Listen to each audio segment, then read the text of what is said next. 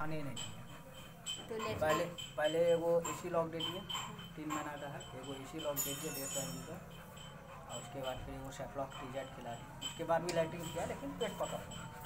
अभी थोड़ा देर पहले वोमिटिंग किया वोमिटिंग में उठी